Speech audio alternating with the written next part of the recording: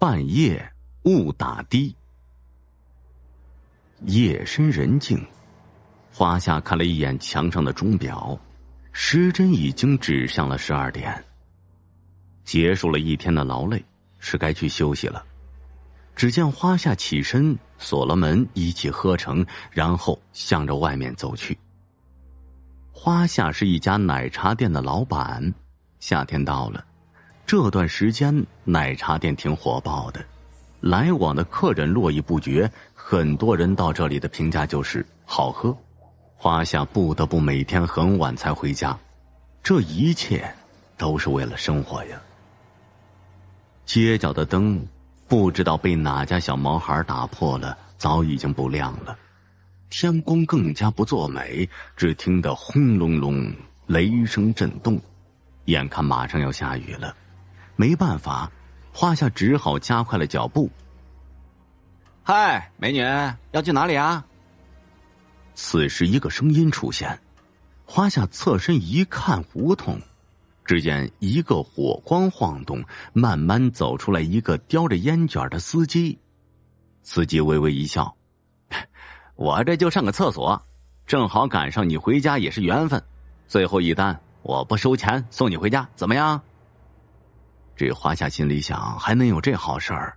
但是眼看暴雨来袭，内心也纠结。嗨，如果我是坏人的话，现在你还能站在这里说话吗？别犹豫了，你不上车，那我自己走了啊！司机看了犹豫不决的花夏，只好转身向车走去了。等等，师傅，我走。首先谢谢您了。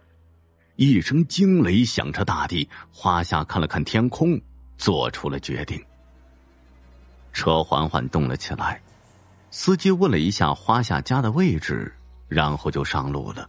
一路上，花夏时刻提防着司机，司机也只是笑笑。路过了一拆迁处，车居然不动了。花夏问了一下：“司机师傅，是怎么了？车怎么不动了？”司机回头用惨笑的声音说道：“嘿嘿，我受了七年的罪，人间七天，地狱七年呢。你该没有忘记七天前的事情吧？”花夏疑惑道：“七天前什么事儿啊？”同时，花夏看了一下司机，瞬间吓得冷汗直冒。这司机头竟然一百八十度转了过来，眼神凌厉的直勾勾的盯着他。啊！鬼啊！救命啊！花夏打开车门就跑，边喊边跑。这期间，他终于想起七天前的事情。那晚，花夏回家，在途中横穿马路，当时一辆出租车为了躲避他而撞向护栏，司机当场死亡。花夏因为害怕过度没有报警，之后也因为害怕过度丢失了这段记忆。你跑不掉的！这声音不断涌入花夏的耳朵。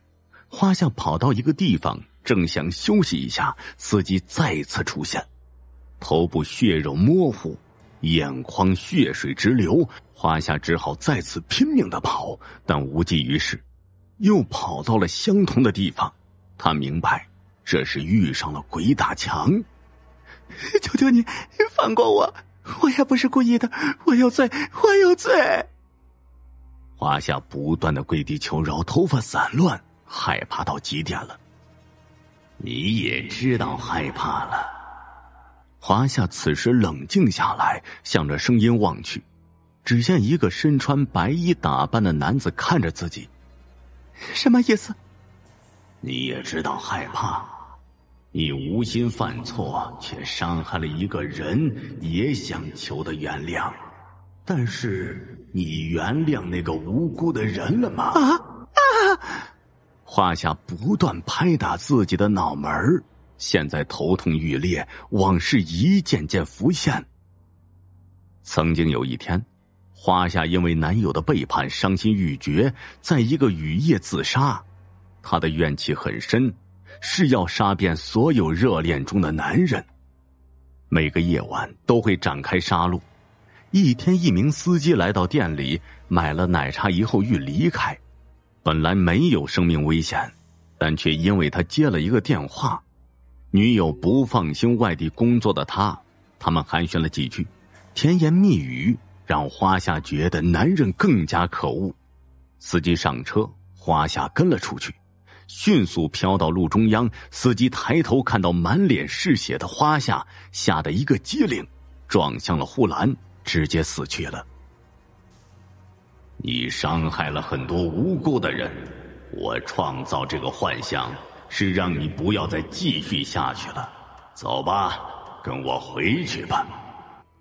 花夏现在已经是泣不成声，只是微微点头，跟着白影离去了。父亲的爱，小晴是个长得漂亮但比较任性的女孩子。她的父亲和母亲在她很小的时候就离婚了，这么多年都是父亲一个人在照顾她。父亲现在在某个建筑工地做临时工，只要工地不忙，晚上还要去给别人送餐，赚来的钱基本都给小晴了。自己每天只吃咸菜和粥，因为父亲实在没有时间管小晴，家里也没有什么钱，所以。他高中读了一半，便辍学了。每天和社会上的不良少年混在一起。每次出去吃喝玩乐的时候，别人都在炫耀自己家多么有钱、多么幸运、多么美满。小晴也会吹嘘自己家庭特别好，但是从来不带朋友到自己家里玩因为小晴家里很穷，买不起手机，所以她经常在外面玩好几天也不回家，父亲虽然担心，但是也很无奈。一次，父亲在晚上给别人送餐的时候，看到小青和几个比他大几岁的男孩子在一起，父亲想去拉小青回家，可没想到，小青根本不听他的话，还对身边的人说：“这不是我爸爸，我不认识他。”结果。就是父亲被几个混混打了一顿，而小晴用冰冷的眼神看着这一切。从那以后，父亲每时每刻都在惦记着小晴，怕她被欺负，但是小晴却越来越少回家了。这一天，父亲在工地干了一天的活，晚上拖着疲惫的身躯回到家休息一会儿，准备去送餐的时候，发现桌子上。有一张纸条，上面写着：“我走了，我要离开这个家，我要去过我想要的生活。”看完之后，父亲来不及多想，急忙跑出去，骑上电动车去寻找小晴。父亲把这个城市的大街小巷都转遍了，甚至郊区都去了，也没找到小青的影子。就在父亲准备放弃。打算回家的时候，路口突然出现一辆大货车，还来不及反应，大货车就从父亲的身上给压了过去，鲜血流了一地，现场让人惨不忍睹。此时，小晴正和他那些所谓的朋友们，在 KTV 里尽情的唱着、玩着、跳着，根本不知道父亲已经不在了。小晴，你也该买个手机了，要不想联系你多不方便呢。一个叫阿强的男孩说着，小晴喝了一口酒，说：“我没钱呀，你以为我不想买吗？”阿强说道：“，我一个朋友家里很有钱，我介绍你认识认识啊。”小晴的眼睛顿时亮了：“真的呀？那太好了，我也有手机用了。”说完。阿强走到外面去打电话，一会儿阿强走进来，告诉小晴，明天就可以去拿钱。小晴特别高兴。当天他们喝了很多酒。第二天，阿强带着小晴来到一个叫阿森的人家里，他们聊了很多，但是小晴一句话也没有听进去，他只想着赶快借钱，然后就可以买到他自己喜欢的手机了。从阿森家里出来，阿强就带着小晴来到了手机店。买了一个新的手机，小晴当时特别高兴，忘乎所以，还亲了阿强一下。但是他没看到一抹邪恶的笑在阿强的脸上一闪而过。这几天，小青每天都在旅馆抱着手机，一天到晚乐在其中。但是好景不长，他玩手机，但是忘了他的手机是借高利贷才买的。这天早上，阿强打来电话，邀请小青去附近大酒店玩一个游戏。小青没有犹豫，就直接去了。来到酒店，上了电梯，来到四层四零四号房间。小晴推门进去，看到里面除了阿强还有阿森，小晴没有弄明白是什么意思。阿强走过来就把门反锁了，把小晴带到阿森的面前。阿森开口说：“小强，这都好几天了，你借的钱该还了吧？”小晴睁大了眼睛：“这么快？不会吧？这才几天呢？”阿森说。当初说的就是这几天还钱，怎么想赖账？不不不，森哥，我不想赖账，但是我真没钱。小青有点害怕了。阿森诡异的笑了起来，哈哈哈，没钱没关系，可以用你的身体还呢。说到这里，小青转身就想跑，可是阿强在他身后。一把抓住了他，就把他按在床上。阿森走过来，打了小青两巴掌。哼，臭丫头，到这个时候了还不老实？不，森哥，你听我……嗯嗯嗯嗯。还没等小青把话说完，阿强就用毛巾把小青的嘴巴堵上了，然后用自己带来的绳子把小青捆了起来。就在他们两个准备把小青的衣服撕开的时候，阿强被一股巨大的力气直接抛飞了，撞在墙上，瞬间晕了过去。紧接着，阿强的耳朵传来一个声音：“不许碰我女儿！”然后阿强的身体不受控制的自己走到卫生间，一拳打碎卫生间的镜子，然后用满是鲜血的手。捡起了一块锋利的镜子碎片，朝自己的脖子划去，伴随着救命声，阿森倒在了血泊中。小青已经看呆了。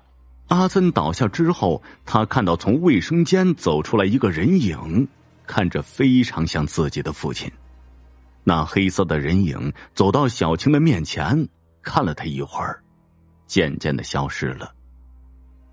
绑住小晴的绳子自动解开了，小晴不敢多待，慌张逃回他现在的住处。没多久，他就被警察带回了警察局。做完笔录，他才被告知自己的父亲在寻找自己的时候出了车祸，人早已经不行了。小晴回到家，他看到父亲的遗像，看到桌子上小时候父亲抱着他的照片，照片上。父女俩洋溢着笑容，他抱着父亲的遗像，眼泪从小青的双眼滚落下来，滴在父亲那微笑的遗像上。爸爸，对不起，我错了，你回来呀，爸爸。青蛙怨魂的复仇。大强和他老爹。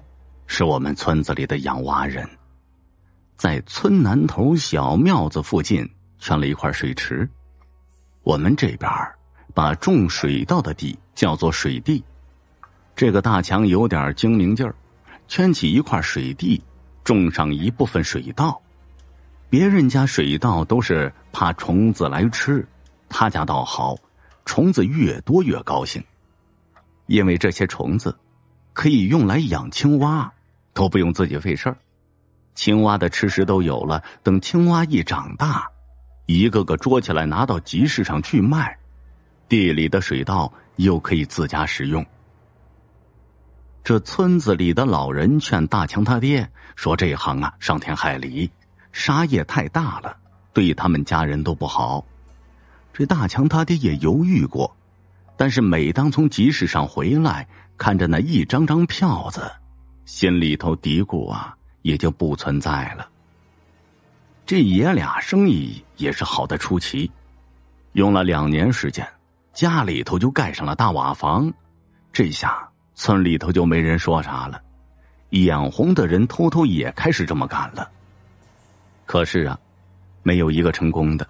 每次去集市上带多少只青蛙回来，还是多少只。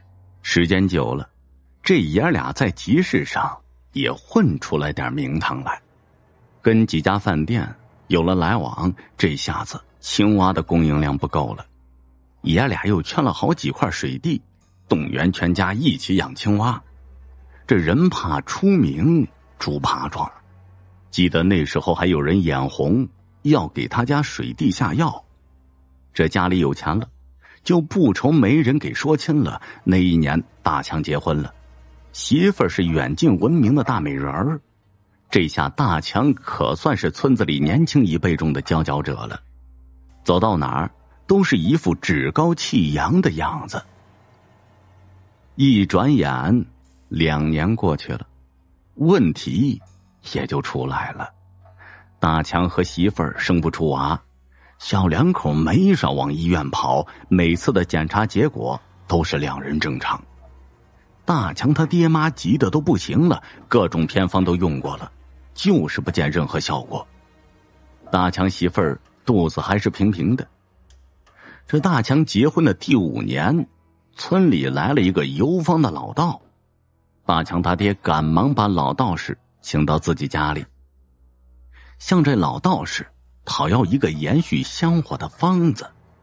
谁知啊，那道士到了门口，死活不进去，说这屋里呀全是死去的青蛙，样子惨不忍睹。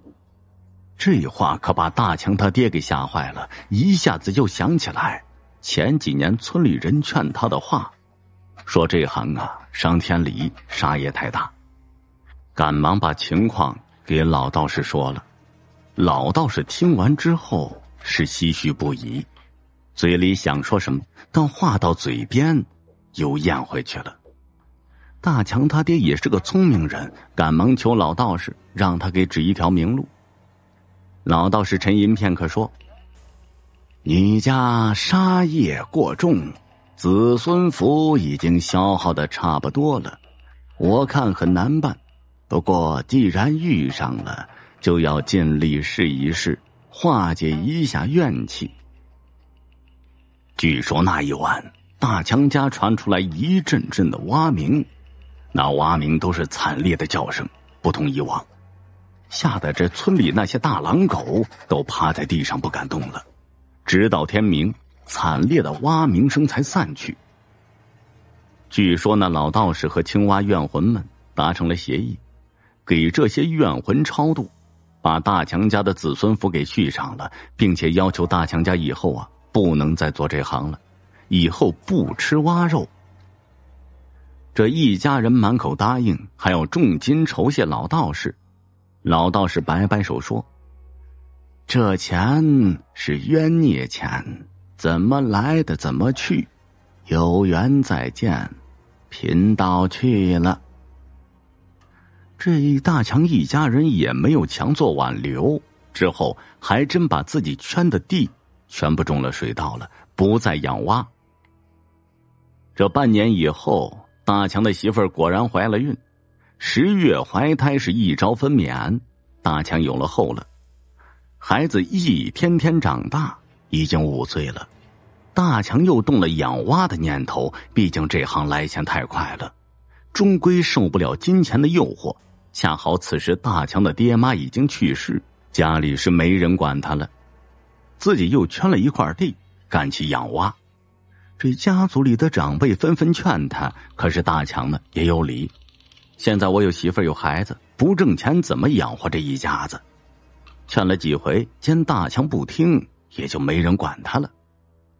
大强在卖了几次蛙以后，报应啊，真的就来了。先是媳妇儿做饭失火，家里的主房烧没了，只剩下一间厢房。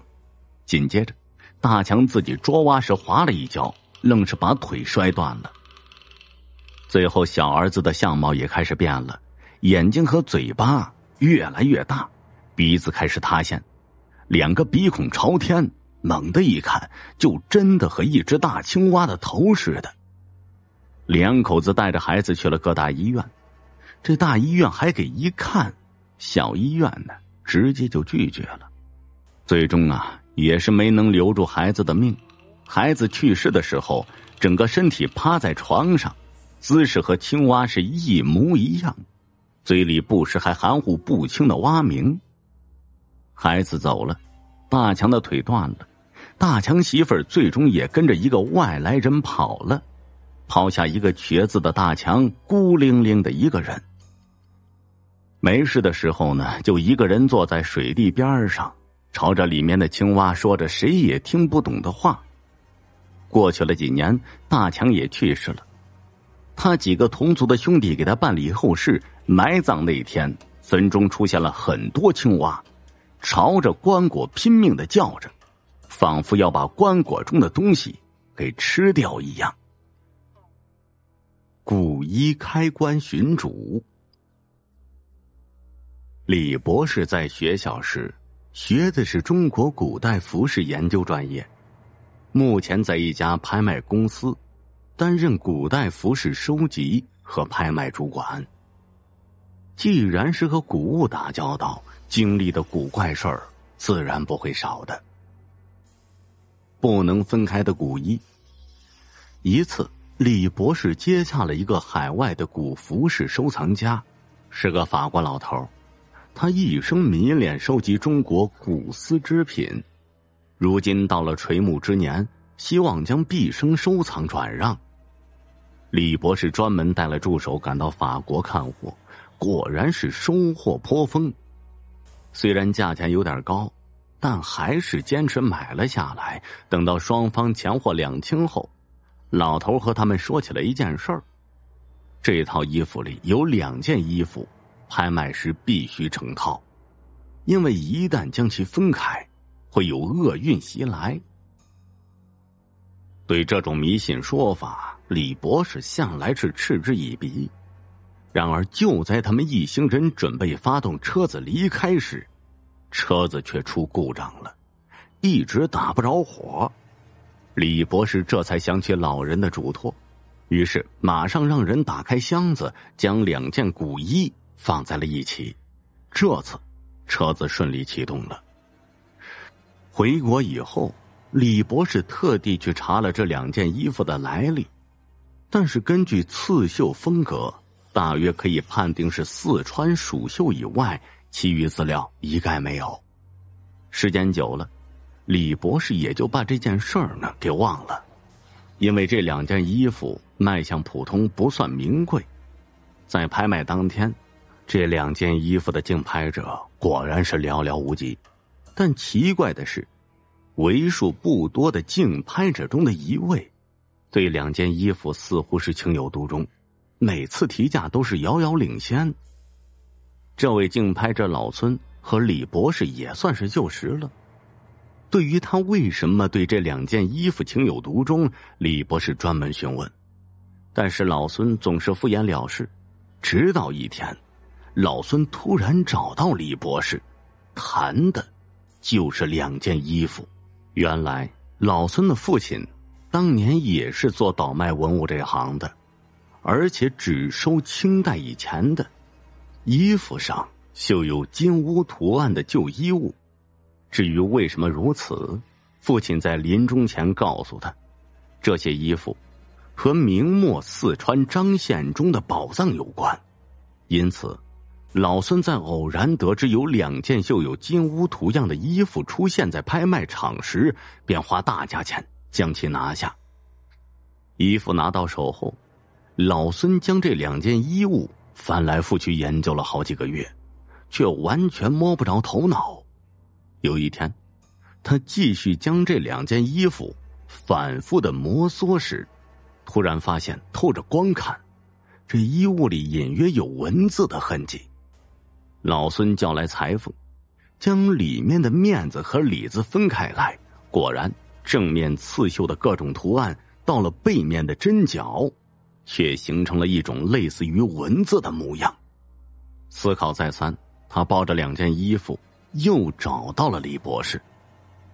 李博士对于他所说的张献宗的宝藏的说法，第一感觉就是无稽之谈。不过，在他看了衣服背面的文字后，也颇感好奇。于是他约了几个对古代宗教文物有兴趣的朋友，私下来看看。多位专家辨认后，有几人指出，这图案有点像道教的符。这位专家。将这些符文破译出来，指向的地方就是巴山。这背后究竟藏着什么秘密？李博士和老孙决定去看看。老孙一行人来到了神农架，拿着古衣寻遍当地，终于，一位上了年岁的老太太看到这件衣服以后，随口说了一句：“这衣服。”和他们年少时上山祭拜的纸衣服的花纹差不多。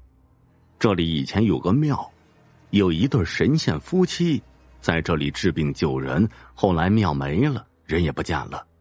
但是这里的人有什么大病小灾的，还是习惯的上山祈求，颇为灵验。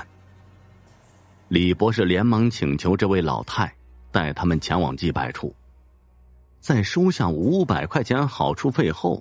老太欣然答应。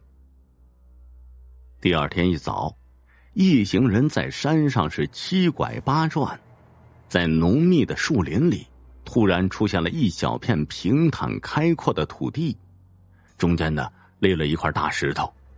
李博士随行的一群人，专门带着精通风水堪舆的专家，一来到此地，就悄悄的对李博士说：“这里风水极佳，是个上好的冲举之处。”所谓冲举，就是道教对飞升得道的一种称呼。堪舆专家继续说道：“如果想要知道到底是怎么一回事儿，必须挖地三尺才能明白。”李博士一听就明白了。李博士一行人先跟着老太下山了。夜晚，一行人又摸黑上山，再次找到那个地方。堪舆专家大致画了一个范围。就让几个兄弟下手了。不一会儿，他们挖出一个硬邦邦的东西，而几个小时后，一副石棺显露出来，大家的眼睛都直了，因为石棺的盖子没有盖严，而棺内是一男一女两具尸首，面相如生，除了身上一层白毛以外，竟然和普通人没有什么两样。大家就慌了神儿了。商议着，赶紧将棺椁给掩埋了，离开此地。然而，正当众人打算重新掩埋的时候，老孙却大喊：“慢！”只见他把随身带着那两件衣服拿了出来，趴下坑去，将其披在两具尸首上，让众人盖棺掩埋。一行人赶回小镇后，李博士问老孙：“为何突然想到将衣服？”放进棺材里，老孙说自己呀，当时似乎不受控制了，脑子里只装着这个念头。又或许这两件衣物本来就属于躺在棺材里的那对男女，现在放回去也算是物归原主吧。这番话让李博士的心绪难平。难道这两件衣物竟有这么大的魔力吗？老槐树的恩情。我们村晾麦场附近有一个老戏台，戏台子两边各有一棵老槐树。这两棵老槐树可有年头了。村里快百岁的老人说自己小的时候，这树五六个小伙子都抱不过来，想必是有几百年了。我爷爷告诉我。他小的时候，每当夏日夜晚，村里人都会聚在老槐树的树荫下，大人们打牌下棋，小孩们戏耍。村东头的王老头就会推上一小车的西瓜，来到大槐树底下摆摊儿。每次都提前早早的来到槐树底下，拿出两个西瓜，放在老槐树下的水井里镇上一会儿。这当村里人来的差不多的时候，他就会把吸管捞上来，用刀切成一角一角的。每个来乘凉的人都可以吃，不要钱。你吃的好了，觉得味道不错，可以自己掏钱买个瓜。不得不说，这王老头还真有点商业头脑。这老槐树伴随着村里每一代人的成长，也见证了每一代人的消亡。村里人对老槐树有着非同一般的感情。我爷爷说，解放以后，三年自然灾害的时候，多亏了老槐树。村子里没有一个人死亡。每次说到这儿，我爷爷都是双眼含泪。自然灾害那三年，全国缺粮，城里还好一些，有救济的口粮，但是农村就惨了，家里能吃的全吃光了，山上的野果野菜也被村民吃光了。整个村子的人都是骨瘦嶙峋。仿佛一阵风都能给吹倒了。到最后一年，什么树皮、树叶能煮的东西全混到一起，用大锅煮烂后，大家闭着眼睛直接喝下去，为的就是能活命。那个年代经历的事儿啊，真的是我们想象不到的。后来村子里能吃的东西没了，唯独剩下那两棵老槐树，没人敢动。毕竟这么多年了，大家对这两棵老槐树都当亲人一样。眼看着村子里的人快饿死了，村长和村里几位德高望重的老者，当着村里人的面，对两棵老槐树诉说了很久，大意是天灾所致，为了能活下去，不得不对老槐树下手了。村长话音刚落，一阵风吹来，漫天的槐花开始飘落。那一刻，全村的人老老少少都给老槐树跪下了。从那天起，两棵老槐树每天白天落花，夜里开花，一昼夜的功夫，树上又布满了密密麻麻的槐花。村里人靠着这些槐花活了下来，没有一个人饿死。谁也不知道这是为什么。这两棵老槐树完全违反自然规律。三年灾害结束，村民们分配到了救济粮。村里人第一件事就是要感谢老槐树。村长就带着几个人起个大早，奔着省城去买贡品去了。去的路上，碰到一对步履蹒跚的老夫妻，朝着村外走。老夫妻主动跟村长打招呼，问道：“二娃子，你干啥去呀？”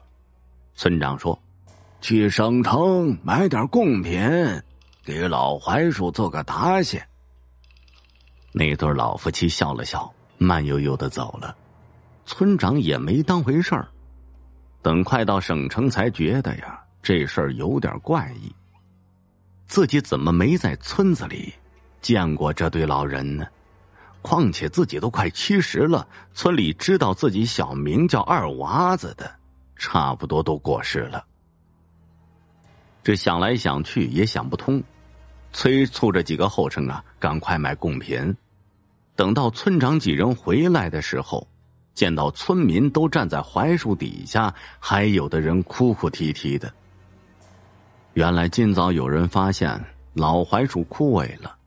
曾经的枝繁叶茂不存在了，大量的槐树叶全部飘落下来，光秃秃的树枝透露出一股凄凉的气息。村里人都沉默了。那天，村长带领着全村的村民，对着两棵老槐树举行了盛大的祭祀，感谢老槐树的救命之恩，并且定下规矩：这两棵老槐树永远不能砍伐。这是村民的命根。后来通过村里的神婆沟通，村民才知道，那天早上村长碰见的那一对老夫妻，就是老槐树的树灵。树灵为了救村里的性命，耗尽了自己的修为，所以才会有无数的槐花来让村民们食用。树林告诉神婆，他们回山修行去了，等恢复修为，还会再回来的。从那以后，每一年的那一天，村民都会祭祀大槐树，直到现在已经演变成一个节日过来。直到我上初三那一年，枯萎了几十年的老槐树竟然开始长出新枝叶来。村里年长的人都说，树灵回来了，又来保护村子了。诡异的刀伤。作为接受国家高等教育的大学生，我是很不屑所谓的迷信的，以及各种灵异之事。但在我身上发生的一件令我终身难忘又无法解释的事情，改变了我这种观念。那年，我还在离家千里的青海上大学。我的家乡是山西的一座小城，家里有三个孩子，我是大女儿，下面还有弟弟和妹妹，弟弟比我小六岁。年轻的我第一次出门在外，每天的日子都是那么热闹新鲜，所以很少往家打电话。有一天，和往常没什么不同，我上完课，吃了晚饭，和同学上了晚自习，还去操场玩了一会儿，就和平时一样回宿舍睡觉了。睡前心里忽然就觉得烦躁不安起来，总觉得气憋憋的，喘不上气。我还以为忽然有了高原反应呢，就翻来覆去的，到了凌晨两点多，才晕晕乎乎的睡着了。昏沉中，忽然看见弟弟，这我还奇怪呢，难道他来青海了？正想着，又看见一大群人在追着他跑，他冲着我跑过来，边跑边喊：“姐姐，姐，救我！”来不及思索，我一把抓住他，他的身上冰凉冰凉的，头上身上全是血，一动不动了。那些追他人的手里拿着砍刀、棍棒，还有拿灭火器的，铺天盖地的朝他砸了过来，我一下子就扑到他身上。挡住了他，然后背后乱七八糟的开始疼，这忽然头上也闷闷的挨了一下，就晕过去了，什么也不知道了。突然，刺耳的闹铃响起，一看表，早上七点了，但我的头还是晕晕的，想着昨晚的噩梦，心里猛然虚了一下，是不是弟弟出事儿了？但又一想，哪有这样咒自己弟弟的？他能出什么事儿啊？上完课，心里还是虚虚的，忍不住啊，给家里打个电话。妈妈接的电话，我也不敢问是不是弟弟出了什么事儿，怕妈妈胡思乱想，只是问呢，弟弟干嘛去了？妈妈说出去玩了，又问我怎么忽然打电话回家，我没说什么就挂了。想着没什么事儿，我就放心了。下课后。和同学约了去洗澡，同学帮我搓背，突然呢就大声惊呼：“你背上怎么了？”我猛然一惊，很直觉的联想到昨晚的噩梦，赶紧背对着镜子照着看，红红的、纵横交错的刀伤布满了我白皙的背，显得格外的狰狞。我心里一动，赶紧摸头上，我呆住了。我后脑勺果然肿起来的疙瘩，是昨晚噩梦被打的。那弟弟，我背上冒出一股凉气，冲出浴室，又给家里打电话。这次接的是爸爸，我顾不上太多，直接就问：“弟弟是不是出事了？”爸爸很惊讶的说：“你怎么知道？我还专门告诉你妈妈，不让对你说的，怕影响你。”这后面的话我顾不上听了。昨晚的梦境已经吓到我了，我颤声的问：“人，人没事吧？”爸爸难过的说：“抢救过来了，但伤得很重。”我的眼泪一下子就出来了。我告诉爸爸，我立刻回去。等我买完车票，坐上车回家，已经是四五天之后了。弟弟出事儿是在我的梦前的一个星期，所以等到我回家的时候，也已经出院，在家养身体了。我进门一看，他头上绑着厚厚的白纱布，后脑勺还印出点点的血渍，部位和我头上有疙瘩的部位不差分毫，而且他的背上也缠满了纱布。爸妈就问我怎么就知道弟弟出事儿了，我缓缓撩起背上的衣服给妈妈看，爸妈也都呆住了。我背上的伤痕分布和弟弟背上的几乎是一模一样，只是我的背部只是痕迹，而他的背上真的是刀伤了。我把妈妈的手放到我后脑勺的疙瘩处，妈妈颤抖的摸着，爸爸更是大骇。我们三个人，还有床上弟弟，都静静的对视着，却不知道说些什么。后来爸妈告诉我，弟弟刚出事的情景确实如我所说的梦，浑身鲜血，被人打的半死，连医院的医生都惊讶的说着：“哎呀，小伙子看着伤的这么重，可真正治疗检查时，那些却只是皮外伤。”还有伤筋动骨，真是不幸中的大幸。也许这就是亲情吧，冥冥之中似乎有什么牵引着弟弟。在他被人打的半死的时候，他向我求了救，而我虽然只是睡梦中以身体护住了弟弟，但却救了他的命。我的身上的痕迹没几天就消失了。弟弟也仗着年轻，很快就恢复了正常。但我们一家人回想起当时的情景，仍然不知道究竟是怎么回事我终于相信，世界上真的有我们无法解释的诡异之事了。酒鬼的传说。清朝嘉庆年间，汉中有个家伙嗜酒如命。这每天早上起床穿衣服前呢，要先抿一口高粱酒，不然起不了床。晚上脱了衣服躺在床上，还得再灌半壶，不然睡不着觉。他这腰里呢挂个酒葫芦，走不到三五步就得拿出来喝一口，哪怕酒葫芦空了，也要凑到鼻子前闻上一闻。久而久之，人们都叫他呀。张大葫芦，这偏偏有一天，也不知道张大葫芦是没吃饱饭还是怎么回事反正就是状态不好，喝的是酩酊大醉。你看他，哎，一边走一边喝，嘴里还嚷嚷着：“嘿，呃，好酒，好酒，啊，好酒。”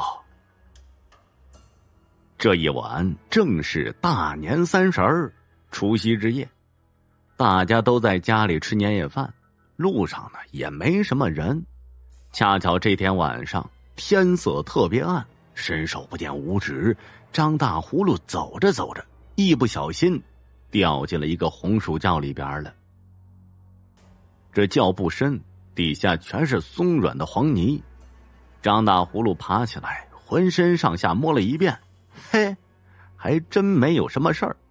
他一仰脖子，又结结实实的灌了一口。嗯，哥，真是好酒啊！喝了这么多，摔跤里都没事儿。明年说说什么也得说服老老婆子，再多酿个几几几百斤才行。这时，他隐隐约约听见好像有人在说话，还有锁链在地上拖着走的声音，咯吱吱、咯吱吱的。张大葫芦只觉得哎是幻觉，狠狠掐了一把大腿，这不成想啊，一下子疼的差点叫了出来。是真的，他害怕极了，赶紧捂着嘴巴。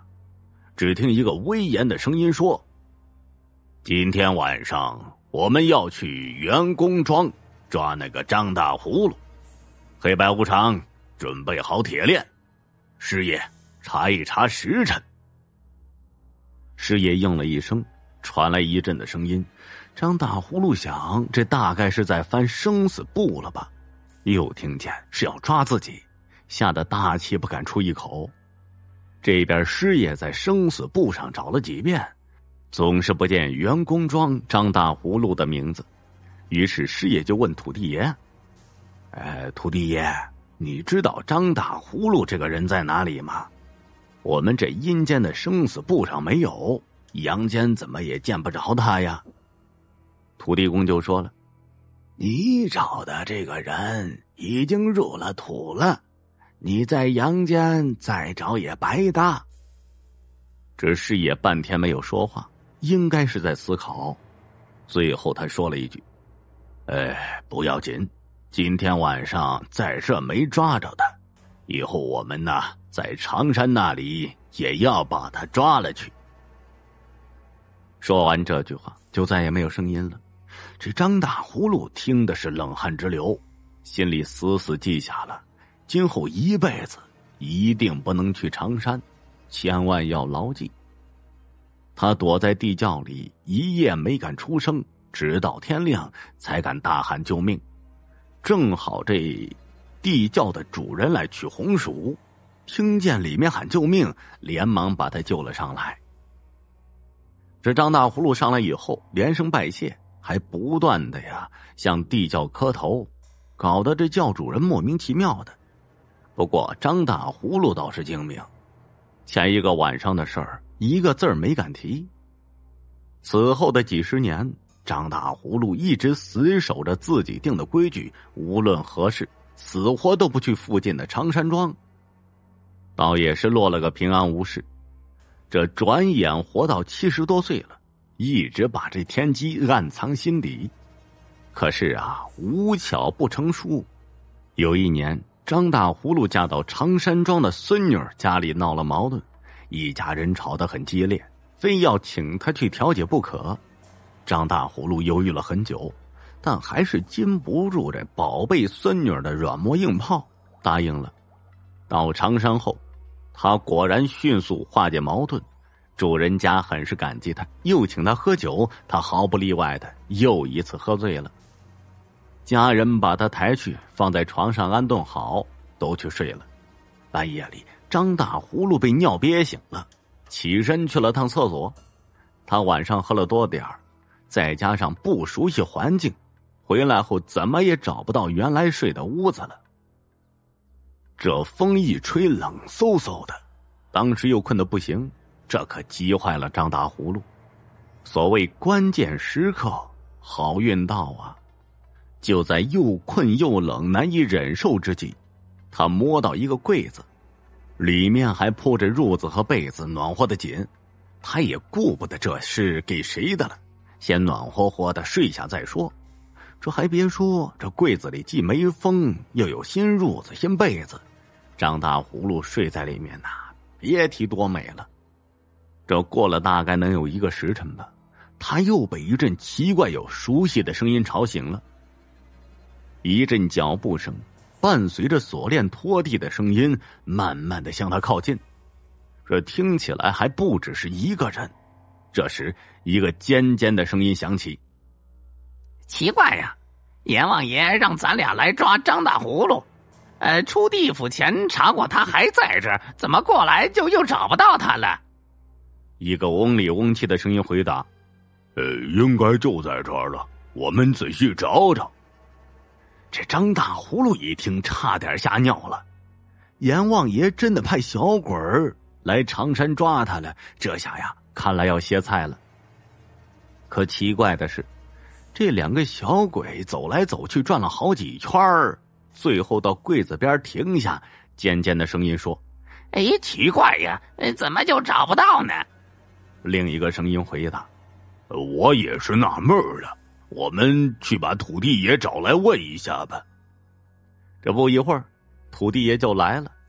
呃，尖声的家伙就说：“哎，土地爷，呃，我们奉阎王之命来抓张大葫芦。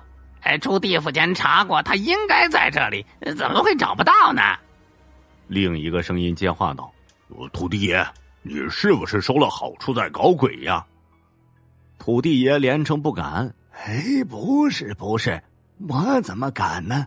那人明明已经进了棺材了，当然找不到了。你们还是回去查查生死簿吧。这句话说完，就半天没声响了。大概是小鬼他们在商量吧。约莫半炷香的时间，脚步声和锁链声再次响起，只是慢慢的远去了。这张大葫芦长出一口气，精神一放松，困意随之而来，沉沉的睡去了。第二天一大早，孙女儿早起，惊叫起来：“爷爷，你怎么睡在棺材里呀？”张大葫芦闻言起身一看，嘿，可不就是吗？自己躺着的哪是什么柜子呀？这分明是一口棺材。他仔细一想，肯定是昨晚摸黑找不到床，恰好摸到人家为老人提前准备的新棺材，稀里糊涂的呀就躺进来了。没想到是歪打正着，正好再次帮自己躲过一劫。想明白了这些，张大葫芦乐了，自己真的是吉人天相啊！阎王爷又能奈我何？不过呀，得意归得意，他再次下定决心，以后说什么也不来长山了。张大葫芦回家以后，又平平安安的过了几年，在那个年代里。已经是非常高寿了，可他喝酒的嗜好却一点没变。这天，他跟几个老友聚在一起，聊起了年轻时的事儿，都很开心。于是约好晚上去老哥们常太保家喝酒。这几个老朋友喝得很高兴，期间有人不禁聊起这为何张大葫芦嗜酒如命，却偏偏能够长寿。张大葫芦一时兴起。就得意的把两次奇遇给说了出来，不料别人根本不信，反而怪他心眼多不够朋友，可以隐瞒长寿秘诀。张大葫芦说了真话，这反倒是没人信了，不免有些失望。这顿酒席最终是不欢而散。当天晚上，张大葫芦就在常太保家住下。夜里，他睡着睡着。突然感觉身子一下变轻了，睁眼一看，身旁一左一右各有一个小鬼，手里拿着铁链锁在自己脖子上。再回头看床上，自己的身体还在床上沉睡呢。小鬼大喝一声：“张大葫芦，前两次让你耍诈使了阴，逃脱了，今天我看你还敢往哪里逃！”张大葫芦一看自己的魂儿被勾离了身体，吓得是浑身哆嗦，说话也不利索了。两两两位大人，你们别生气，之前两次我也不是诚心躲躲躲着的，不不不不知这不罪，你们就就原原原谅我吧。不不过今天你你们真真的搞错了，这这里不不是长长长山呢。另一个小鬼啊，嗡声的说道：“怎么会弄错呢？常太保在家里排行老三，不就是常三了吗？”这张大葫芦一听就急了：“你们怎么能这样呢？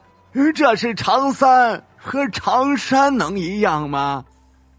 那个小鬼一抖手里的锁链，指着张大葫芦的鼻子喊道：“你还敢跟我理论？”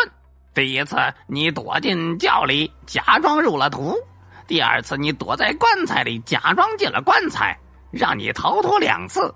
阎王爷已经责罚我们两次了。这次你在常太保常三家里被抓，跟生死簿上写的是一模一样。你还有什么话可说？这张大葫芦还想争辩，这这这个。嗡声嗡气的小鬼不耐烦的打断他：“还挣扎什么呀？你以为偷听我们讲话就可以永保太平啊？你抬头看看这阎王殿门口的对联。”张大葫芦抬头一看，上联写着：“阳世三界谁无死？”下联：“古往今来。”放过谁？再一看那横批，嘿，正要抓你！古诗展上的小女孩。这一天周末，黄大海闲着没事儿，一个人到青秀山公园瞎逛。这看那看，来到公园一角，意外发现里这里新开了一个展厅，是明代古诗展。黄大海起了好奇之心，他只听说过埃及有木乃伊，可没有听说过中国也有木乃伊呀。看告示，说中国的木乃伊是天然形成的，而且是母子连体。好奇心一起，黄大海就花十块钱，从那个花白胡子的看门老头手中买了一张票，上了二楼展厅。进到展厅，四周的窗户都是用厚厚的帷幕遮掩着的。黄大海过了好大一会儿，才适应里面幽暗的光线。他看见一具透明的玻璃棺材里，静静的躺着一具女尸，皮肤完好，灰黑如铁，紧紧的贴在骨架上，看着就跟石雕一样。胎儿并没有取出来，只见女尸的肚子微微隆起，看情况也就是三四个月的光景。大黄大海暗暗叹息一声：“多可怜的孩子呀！”还没能见上一个天日，就陪着母亲长眠于地下，命运是何其不公啊！看罢古诗，黄大海正准备下楼，突然听见一声银铃般的欢笑，打破了展厅里的静默。循声看去，原来是个扎着蝴蝶结的约莫六七岁的小女孩，一个人在展厅里欢快的跑着。黄大海不由得皱起眉：“这是谁的孩子呀？”展厅里展出古诗，又不是什么好玩的东西。这么小的一个小孩子进来胡跑什么呀？正想着，小女孩斜刺着跑了过来，经过黄大海身边的时候，突然绊了一下脚，眼看着要摔倒，黄大海赶忙弯腰一把扶住她。小女孩抱着黄大海的脖子。仰起脸看着黄大海，颌下一颗小痣露了出来，红豆似的，好不漂亮。小女孩娇声的笑着说：“谢谢叔叔，妈妈来了，我要去寻她，得走了，叔叔拜拜。”说完话，她急匆匆的挣脱黄大海的怀抱，连蹦带跳的就跑出了展厅。黄大海站起身，突然一个机灵，脖子上感觉有点异样。伸手一摸，上面挂着的一块玉观音不见了。他猛然醒悟过来，小女孩摔倒是假，故意让自己扶她，好解她的玉观音是真。好奸诈的小鬼头！黄大海忙冲出展厅。小女孩刚刚下楼，黄大海冲着楼下卖票的老头喊道：“你展厅有贼，快帮我接住那个小女孩，她偷走了我的玉观音！”卖票老头一听。也急了，跳起来说：“谁？你说谁偷走了你的玉观音呢？”黄大海大叫：“就是刚刚下楼那个扎着蝴蝶结的小女孩。”卖票的老头看了楼梯，却一脸茫然：“哎，哪有什么小女孩啊？我怎么没看见呢？”黄大海急了，指着那个小女孩说：“看，那不是吗？她已经来到你面前了。”这卖票老头依然茫然四顾，说：“哎，我面前空无一人呢，哪有什么小女孩啊？”黄大海急的是跳脚。小女孩明明就在卖票老头前面走过，他怎么就看不见呢？他怎么就看不见呢？黄大海忙噔噔噔下了楼，但已经来不及了。等他来到卖票老头面前，小女孩已经跑得没有踪影了。这玉观音，虽说不是什么贵重之物，但却是黄大海和妻子吕凤元结识时，吕凤元送给他的定情之物。现在让小女孩给偷走了，黄大海好不心疼。他责怪卖票老头是不是和小女孩串通好的？要不怎么故意放走小女孩呢？这卖票老头啊，对天发誓，说真的不认识什么小女孩。哎呀，我今天一直都在这里卖票，没看见你说的这样一个小女孩上楼啊！你看，把这卖票老头急的。看卖票老头的神情，也不像说谎。黄大海就糊涂了。这一卖票老头说的，这小女孩还会障眼法不成？可他心里一想，也明白了，定是这老头人老眼花，视力有问题了。而小女孩身体小，跑得又快，所以啊，看不见小孩子。不见了玉观音。黄大海也没有了游览的心情了，四处找了一遭，不见小女孩的身影，只好悻悻的回家了。刚进门，黄大海的心不由得又是一惊，他家的门居然大开着，难道还真是祸不单行？自己在公园不见了玉观音，家里又城池失守，遭了贼吗？这屋里呀，还隐约的传出响声。黄大海折回身，从楼梯角拿起根木棒，再蹑手蹑脚的上了楼，冲进屋里，愣住了。哪是什么贼呀？分明是吕凤元在家里搞卫生。吕凤元在另一个城市的一家公司任高管，薪水丰厚。就为这个，婚后他还不想辞掉工作。回到黄大海所在的城市里，想多干两年再回来。这种新版的牛郎织女的生活带给黄大海的影响，就是两个月才能见上一次吕凤元的面，然后又匆匆的分离，期待下一次的见面的时间。可是半个月前吕凤元刚回过家呀，怎么现在又回来了？吕凤元小鸟依人的扑进黄大海的怀抱，告诉他说：“由于业绩出色，公司这个月安排他和其他老员工来到马来西亚旅游度假，他舍不得去，推掉了。而为了给黄大海一个惊喜，他也没有提前通知，而是自己回了家了。”黄大海歉意的告诉了吕凤元今天不见的玉观音的事情。吕凤元轻笑一声，说着：“玉观音只是个信物，你要时时刻刻把我放在心里。有没有这个信物，又有什么关系呢？”黄大海激动的给了吕凤元一个吻。吕凤元的假期匆匆结束，一晃又是一个多月过去。这天。黄大海接到吕凤元的电话，说他有了。黄大海一怔，很快就反应过来，吕凤元是说有喜了。吕凤元嗔怪道：“都怪你，是你故意让我怀上的吧？”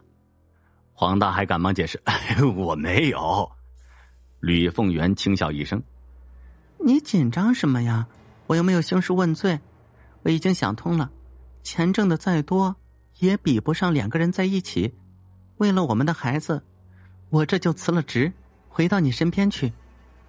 撂下电话，黄大海激动万分。他早就过腻了这种牛郎织女式的生活。吕凤元不肯回来，也不想过早要孩子。他们一起的时候，都逼着自己采取措施，一直也没有意外。这次回来同样也不例外。黄大海采取了措施。想不到却出了问题，更让人想不到的是，怀上孩子后，他居然改变了主意，提前回来，怎么不叫他欣喜若狂呢？一晃八个多月过去，这天吕凤元乡下的父亲的六十岁生日，吕凤元说：“六十亿花甲，乡下人最重视六十岁的生日，坚持要回去给父亲祝寿。”黄大海拗不过他，只好开着车陪他一起出了门了。车子跑了一段高速，再转上一条省道，前面就是大河。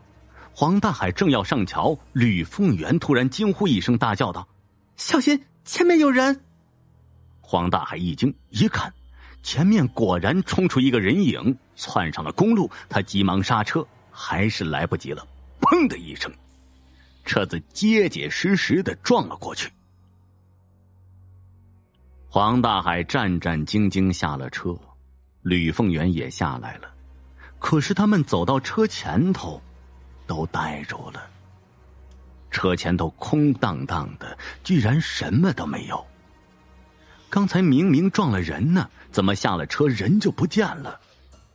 道路两边都是平坦的沙地，不见人，也不见尸体，而路面同样看不见血迹，就跟什么也没有发生过似的。可是回头看车，凹下去了一大块，分明是被撞击过的痕迹，而且车标也不见了。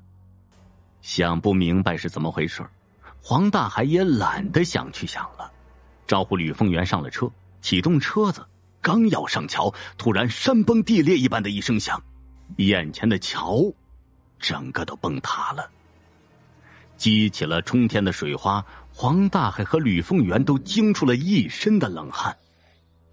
多亏刚才这个蹊跷的车祸，要不然他们两人刚好走在桥上，连人带车这一摔下去。要想再活着回来，可就难了。